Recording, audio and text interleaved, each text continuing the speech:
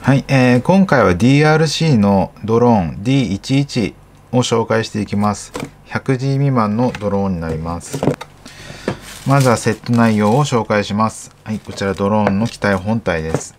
あと送信機、えー、バッテリーが12全部で3個ついてきます、えー、でバッテリーの充電ケーブルが2本。2本で予備のプロペラが1セット。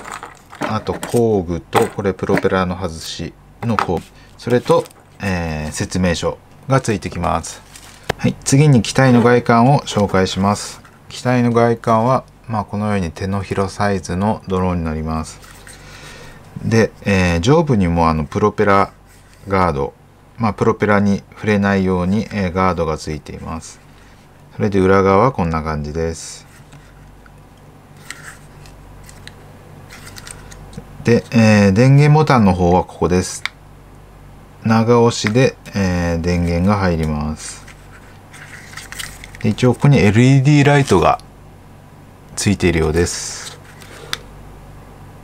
取り付け取り外しは、えー、このように差し込んでスライドさせれば、えー、取り付けることができます。機体の外観の紹介は以上です。次送信機を紹介していきます。送信機はこのような形状になってます。で技的マークの記載はこちらにあります。で電源の方は単4電池3本になってます。で電源ボタンはここです。送信機の外観の紹介は以上です。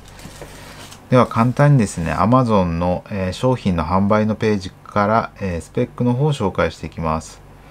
え、型番が D11、え、本体重量が 31g、え、飛行時間がバッテリー1個で8分です。機体のサイズが 92×80×32mm で、えー、操作距離の方が 40m という風になってます。で、バッテリー、本体のバッテリーの方が 3.7V の 390mAh。で、充電時間が60分となっています。スペックの方は以上です。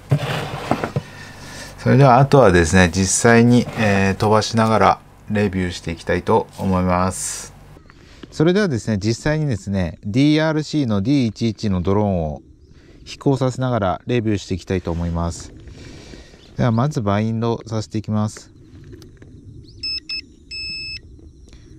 でちなみにこの機体の場合は電源を入れるだけでバインドされる仕様っぽいです。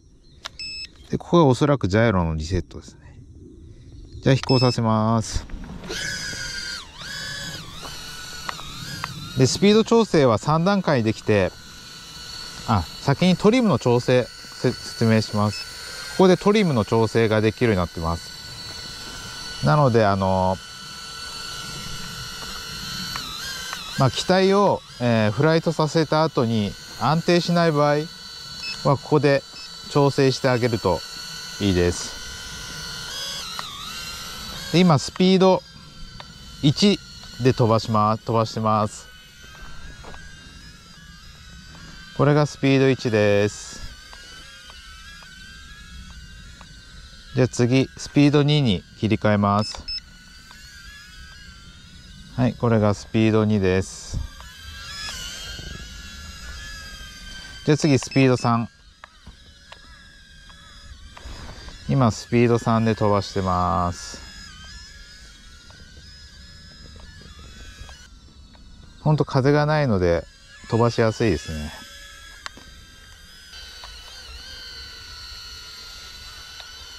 でその他のもその他の機能としてこう左、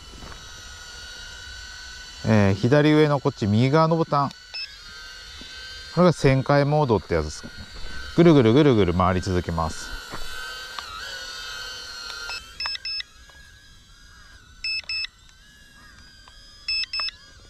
で手のひらサイズの小さいドローンなのでまあ狭い室内で飛ばしてみても面白いと思います。はい、えー、以上で DRC の D11 こちらのレビューを終わりにします。で興味のある方は動画の概要欄の方に購入先のリンク貼っときますので、えー、そちらでチェックしてみてください。割引クーポンコードも出てます。